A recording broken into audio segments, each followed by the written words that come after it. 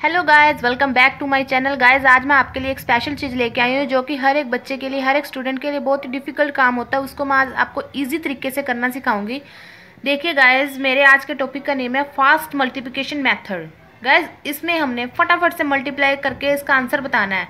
क्या आप बता सकते हैं कि 103 और 105 को मल्टीप्लाई करके आंसर क्या आता है? फटाफट से चुटकियों में इसका आंसर दे सकते हैं? नहीं। क्योंकि इसको मल्टीप्लाई करना एक थोड़ी सी ट्रिकली हो जाता है इसको थोड़ा सा डिफ़िकल्ट हो जाता है जैसे मल्टीप्लाई करके टाइम स्पेंडिंग होता है। ठीक है गाइस ऐसे ही हम इसमें और एग्जांपल लेके आज मैं आपको बताने जा रही हूँ कि आप इसको चुटकियों में जी हाँ चुटकियों में इसको सॉल्व कर सकते हैं। देखिए सबसे पहले मैं आपका मेथड बता रही हूँ आपको कैसे करना है। ध्यान से सुनिएगा गाइस और, और हाँ अगर आप मेरे चैनल पर नए हैं तो इसको लाइक और सब्सक्राइब करना मत भूलिएगा गाइस ठीक है? अब हम चलते हैं अपने फ़र्स्ट सम की तरफ़ कि मान लो, जब भी आपको कोई हंड्रेड से ऊपर वाले डिजिट्स को मल्टीप्लाई करना हो आपस में, ठीक है गाइस जैसे आपको 103 और 105 दी हुई है, इसको आपस में मल्टीप्लाई करना है। तो आपको देखना है, ये हंड्रेड से कितने टाइम बढ़ा है? थ्री ठीक है गाइस और ये कितने टाइम बढ़ा है?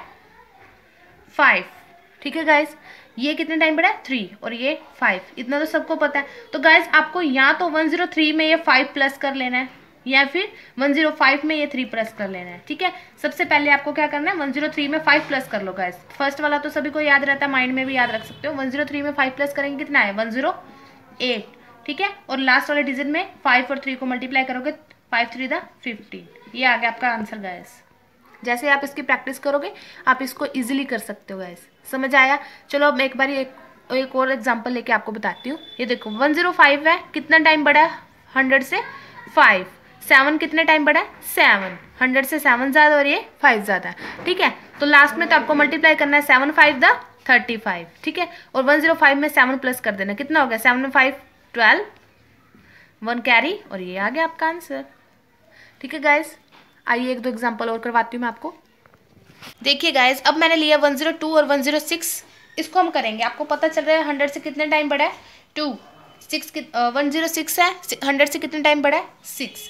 ठीक है? तो वन ज़ीरो टू में आपको सिक्स प्लस करना है। ठीक है गाइज़ ये आपको सीधा मेथड बता रही हूँ। आप फ़र्स्ट वाले में प्लस कर लेना गाइज़ वैसे तो आप इसमें वन ज़ीरो सिक्स में टू प्लस कर सकते हो वन ज़ीरो टू में सिक्स इसका अपोजिट ऐसे क्रॉस में आप इसको प्लस कर सकते हो। लेकिन मैं आपको सीधा मेथड बता रही हूँ ताकि आप ताकि आपको कोई कन्फ्यूज़न ना हो।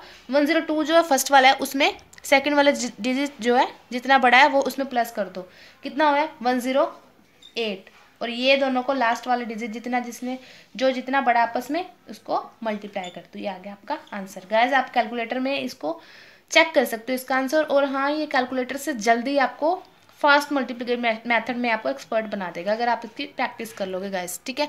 अब चलिए देखो वन ज़ीरो नाइन हंड्रेड से nine time greater one zero two two times greater ठीक है? पीछे तो आपको मल्टीप्लाई करनी है नाइन टू द एटीन लेकिन उससे पहले वन ज़ीरो नाइन में प्लस करना है। टू कितना हो गया? One one one one hundred eleven ठीक है? और nine two the eighteen guys nine hundred eighteen ये आपका आपका आ गया आंसर ठीक है गाइस ऐसे ही मेरी और वीडियो देखने के लिए मेरे को, मेरे चैनल को सब्सक्राइब कीजिएगा गाइस मिलते हैं अपने नेक्स्ट वीडियो में. आपके लिए न्यू टॉपिक लेके मैं जल्दी हाजिर होंगे guys thank you so much मिलते हैं नेक्स्ट वीडियो में. Thank you